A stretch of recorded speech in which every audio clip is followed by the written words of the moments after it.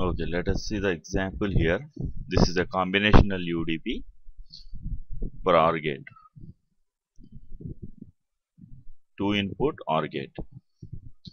So in this example the assumption is we only assume that 0 and 1 are the two valid uh, values of inputs. So x we are not taking into consideration. If value is unknown what could be the output? That case we are not reading. Only for a given 0 and for a given 1 inputs what could be the output? That is what the evaluation here. So in this as been stated in the basic concepts of UDP in an earlier lecture in this UDP begins with a primitive see this is the primitive. And UDP underscore R this is user defined name UDP underscore R is a user defined UDP name. It's a user defined name. So here F is a output. This is must. Output identifier will be first in a port list. And then inputs A comma B. So terminating with a semicolon. This is how even we declare this module.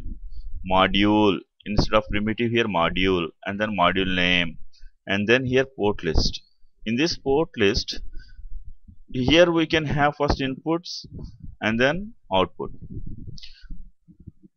But in a primitive case output is first followed by that inputs will be so now moving on to this here. Output that is f. Here it is a mistake. Please note this is a mistake. Output f. Input a comma b. And then here you are going to declare your state table. This is the state table between table and end table and you know this uh, two slashes here forward slashes are for comments single line comments.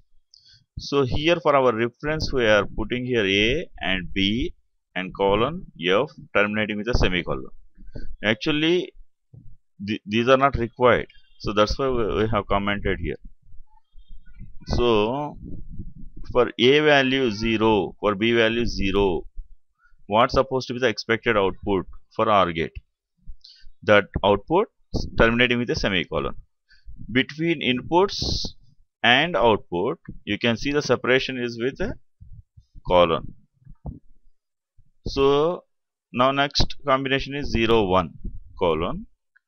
What supposed to be the output here? 1 so this is the description of OR gate itself OR gate truth table it is. So finally once we have done with our description of the given hardware in our example this is a two input OR gate. Now end table. End table is a keyword. And then end primitive. End primitive is a keyword. So end table end primitive. So this is how the first example goes hope you understood this one. Let us summarize this first example once again quickly. Here primitive the way we start module like that module and then module name and then here port list.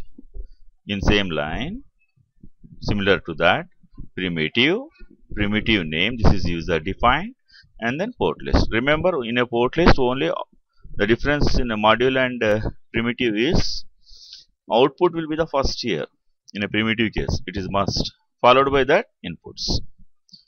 So this is the only difference.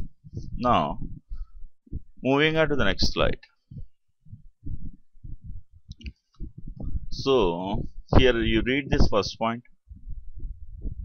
Using a combinational UDP to define a combinational logic circuit corresponds to directly describing the behavior of the logic circuit in table form. That is what the entire truth table needs to be described.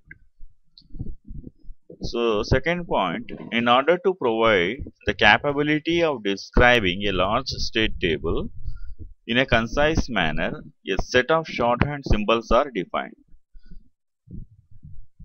Verilog HDL facilitates shorthand symbols because we cannot keep going like uh, filling the state table. So we want to concise that one. So that is possible with the help of shorthand symbols. We will see one example about this how we are going to use them. Look at this uh, point number 3. Here we have question mark here so this denotes actually it could be a 0 or it could be a 1 or it could be a x.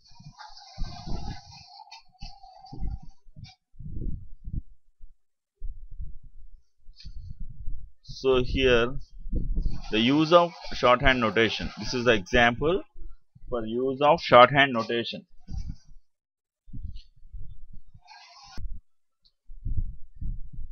This example shows how we are using shorthand notation. Primitive the keyword that's how we start the primitive with a keyword primitive. Udp underscore and within parenthesis port list output f input a comma b table end table. In between for given 1 1 combination output is 1 one out input is 0 the other could be a 0 or 1 or it could be x unknown value.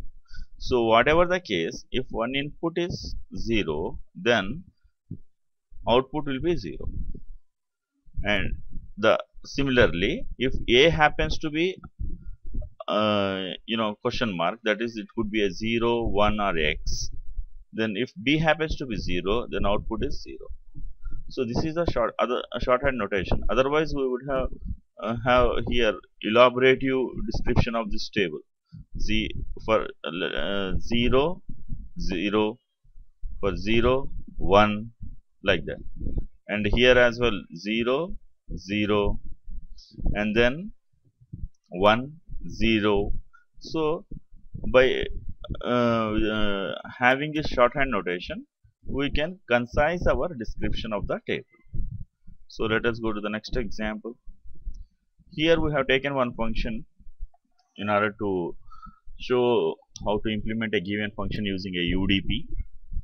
So here the negation of x or y this whole is ORed with negation of x and z value. The whole is negotiated.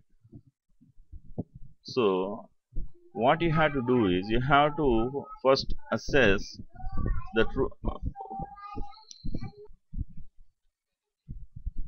So that function is primitive space my function. This is a user defined name. Output followed by input. Here in our previous slide, what we have seen here is x, y, z. These are the inputs x, y, z. So output f, input x comma y comma z, table end table. So we have to evaluate this output according to the given description. We have to fill out this table. So for each combination of input you can see here what is the output.